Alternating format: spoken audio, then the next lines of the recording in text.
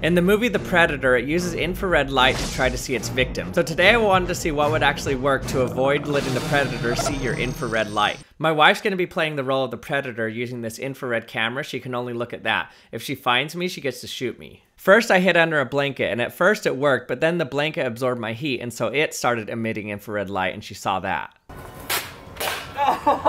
In this section of the yard. Then I tried hiding around a corner with a dull piece of metal see to see if it reflected the infrared light, and sure enough, it did. But then I tried hiding behind a window. So even though you can see me, infrared light can't actually go through glass, so she couldn't see me. Sketch of orange on the screen. Uh, Finally, I tried mud, or in this case, sand. This is so weird.